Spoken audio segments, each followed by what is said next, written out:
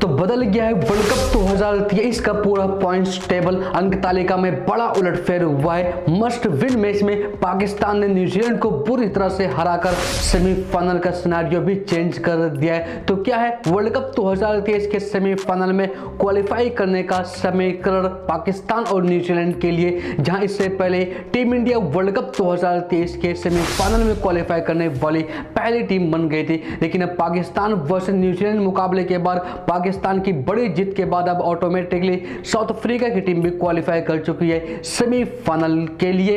अब ऐसे में दो ही स्थान बचे हैं लेकिन लड़ाई अभी कई टीमों के बीच में है। तो वही वर्ल्ड कप 2023 के छत्तीसवें मैच में ऑस्ट्रेलिया ने इंग्लैंड को 33 रन से हराकर इंग्लैंड की टीम को तो वर्ल्ड कप 2023 से बाहर कर दिया और इस जीत के साथ ऑस्ट्रेलिया की टीम सेमीफाइनल में क्वालिफाई करने के काफ़ी ज़्यादा करीब पहुँच चुकी है। तो इंग्लैंड की टीम भी ऑफिशियली वर्ल्ड कप 2023 से बाहर हो चुकी है। अब सेमीफाइनल के लिए क्वालिफाई नहीं कर पाएगी। तो वहीं उससे पहले बांग्लादेश की टीम भी ऑफिशियली बाहर हो गई थी एलिमिनेट हो गई थी वर्ल्ड कप 2023 से। तो पूरा पॉइंट्स टेबल आपको दिखाएँगे और बताएँगे जबकि क्या है सेमीकरण सिनेरियो सेमीफाइनल में क्वालिफाई करने का। लेकिन उससे पहले चलिए एक बार नज़र डाल लेते हैं पाकिस्तान वर्सेस न्यूजीलैंड मुकाबले पर। तो न्यूजीलैंड की टीम ने पहले बल्लेबाजी करते हुए 401 रन बना लिए थे। यहाँ पर किसी ने भी सोचा नहीं था कि पाकिस्तान की टीम अब ये मुकाबला किसी भी स्थिति में, किसी भी कंडीशन में मुकाबला जीत सकती है। लेकिन कहते हैं ना कि कुदरत का निज़ाम बिल्कुल ऐसा ही हुआ।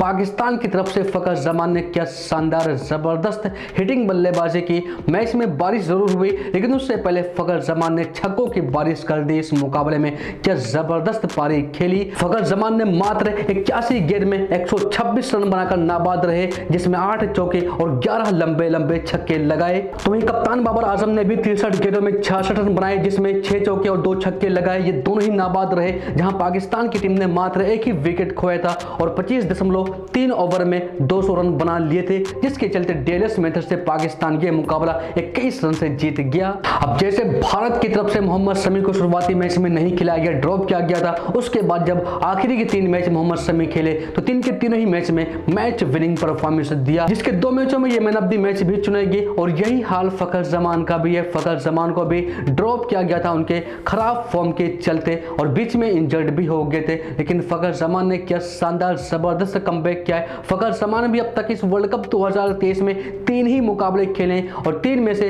दो मैच में ये मैन ऑफ़ द मैच बने हैं। तो फखर जमान ने पाकिस्तान की टीम में क्या इंपैक्ट डाला आप इससे अंदाज़ा लगा सकते हैं, जहाँ इस वर्ल्ड कप 2023 में अब तक सबसे ज़्यादा छक्के लगाने वाले बल्लेबाज कोई और नहीं, बल्कि हिटमैन रोहित शर्मा है, जो सात मैचों में बीस छक्के लगा चुके हैं। तो वहीं ऑस्ट्रेलिया के डेविड वार्नर भी सात मैचों में बीस छक्के लगा चुके हैं और तीसरे नंबर पर फखर जमान आ चुके हैं, जो मात्र तीन ही मैच खेले और इन तीन मैचों में ये 18 छक्के लगा चुके हैं। और ऐसे ही भारत की तरफ़ से सबसे ज़्यादा विकेट लेने वाले गेंदबाज बूम बूम जसप्रीत बुमराह जोड़कर रखेंगे, जिनका कोई तोड़ नहीं, कोई मुकाबला नहीं। लेकिन सात मैचों में बुमराह ने पंद्रह विकेट छटकाए तो वही मोहम्मद शमी को तीन ही मैच में खिलाया गया और मोहम्मद शमी ने तीन मैच में चौदह विकेट छटकाए हैं। अब बात करें अगर न्यूजीलैंड की तो न्यूजीलैंड की शुरुआत तो काफ़ी शानदार तरीके से रही थी। इस वर्ल्ड कप 2023 में शुरुआती चार मैच तो इस टीम ने बैक टू बैक लगातार जीते थे। लेकिन उसके बाद आखिरी के चार मैच न्यूजीलैंड की टीम बुरी तरह से हारी है। तो वहीं ऑस्ट्रेलिया की बात करें तो ऑस्ट्रेलिया का तो काफ़ी खराब परफॉर्मेंस रहा शुरुआती दो मैच में, ये टीम बैक टू बैक शुरुआती दो मुकाबले हार गई थी। लेकिन उसके बाद पैट कमिंस की कप्तानी वाली ऑस्ट्रेलिया टीम ने क्या शानदार वापसी की है इस वर्ल्ड कप में?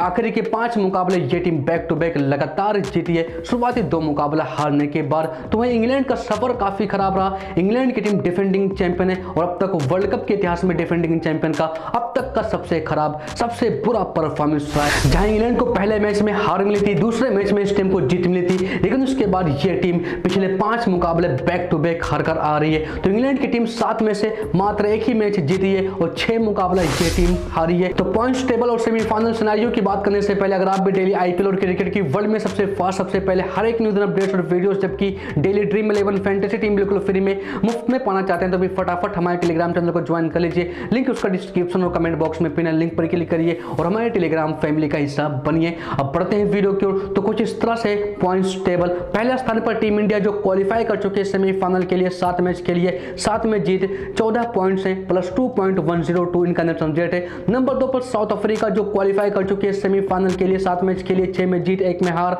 बारह अंक इस टीम के। नंबर तीन पर ऑस्ट्रेलिया सात मैच खेली है पाँच में जीत, दो में हार, दस अंक इस टीम के plus zero point nine two four score इनका रन रेट है। नंबर चार पर न्यूजीलैंड, आठ मैच के लिए चार में जीत, चार में हार, आठ अंक इस टीम के हैं plus zero point three nine eight. इनका रन रेट है। और नंबर पाँच पर पाकिस्तान, आठ मैच के लिए चार में जीत, चार मैच में हार, आठ अंक इस टीम के भी हैं plus zero point zero three six इनका रन रेट है। तो वहीं छठे स्थान पर अफ़गानिस्तान की टीम है। सात मैच खेले चार में जीत, तीन में हार, आठ अंक इस टीम के भी हैं। तो वहीं सातवें स्थान पर श्रीलंका, आठवें स्थान पर नीदरलैंड्स, नवे स्थान पर बांग्लादेश और दसवें स्थान पर इंग्लैंड की टीम है। तो बात करते हैं सबसे पहले ऑस्ट्रेलिया की। तो ऑस्ट्रेलिया को सेमीफाइनल में क्वालिफाई करने के लिए अपने बाकी बचे दो मुकाबलों में से मात्र एक मैच और जीतना है। लेकिन ऑस्ट्रेलिया की टीम अगर अपने बाकी बचे दो के दोनों ही मुकाबला हार जाती है तो फिर ऑस्ट्रेलिया की टीम डायरेक्ट क्वालिफाई नहीं कर पाएगी। दूसरी टीम पर डिपेंड रहेगी। नेट रन रेट और बाकी सब कुछ देखा जाएगा।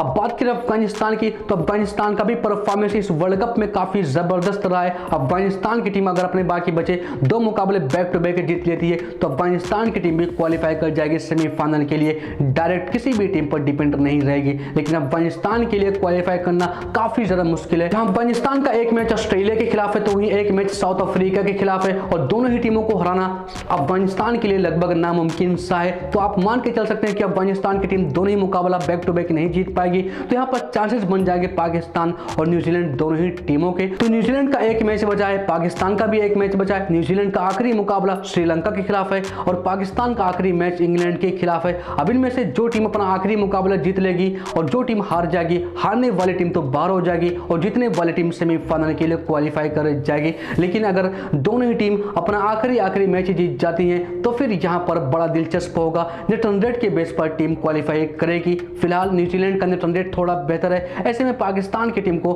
काफ़ी ज़्यादा बड़े मार्जिन से मुकाबला जीतना होगा। आपको बता दें कि अगर न्यूजीलैंड की टीम अपना आखिरी मैच श्रीलंका के खिलाफ एक भी रन से अगर जीत जाती है तो फिर पाकिस्तान को अपना आखिरी मैच इंग्लैंड के खिलाफ 131 रन के बड़े अंतर से जीतना होगा या फिर 28 ओवर में ही मुकाबला चेस करना होगा। तो न्यूजीलैंड अगर अपना आखिरी मुकाबला जीत गई तो लगभग आप मान के चल सकते हैं कि पाकिस्तान की टीम सेमीफाइनल के लिए क्वालिफाई नहीं कर पाएगी। लेकिन लेकिन अगर न्यूजीलैंड की टीम अपना आखिरी मुकाबला हार जाती है, पाकिस्तान की टीम अपना आखिरी मुकाबला जीत जाती है तो फिर पाकिस्तान की टीम सेमीफाइनल के लिए क्वालिफाई कर जाएगी। तो वर्ल्ड कप 2023 का पॉइंट टेबल काफ़ी दिलचस्प हो चुका है। अब यहाँ से मुकाबले काफ़ी रोमांचक हैं। तो फ़िलहाल इस वीडियो में बस मैं उम्मीद करता हूँ कि वीडियो अच्छी लगी होगी। अगर अच्छी लगी प्लीज़ लाइक करें शेयर करें। कमेंट बॉक्स में अपनी प्रतिक्रिया ज़रूर दीजिए।